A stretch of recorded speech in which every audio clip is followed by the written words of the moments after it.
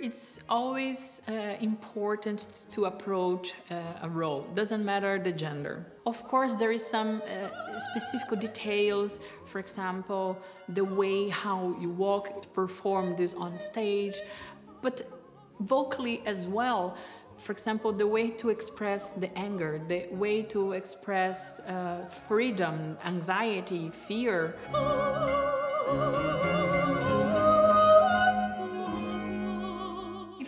think historically it, it, was not like the first time that men were dressing like women.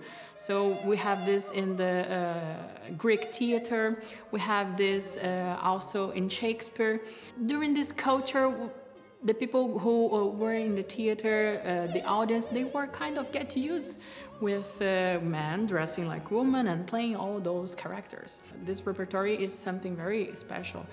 And part of this is also discovered all those pieces that never been recorded for so long. So that's amazing opportunity.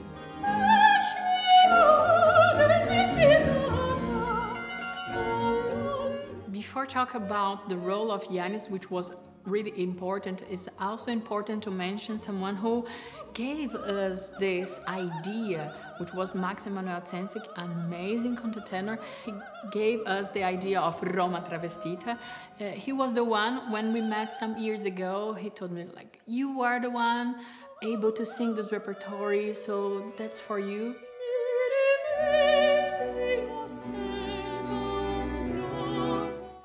Was, was really nice to discover and also to see the development of uh, the character and the development of the music and how the composer keep working and giving different uh, approaching and different perspective uh, during those periods.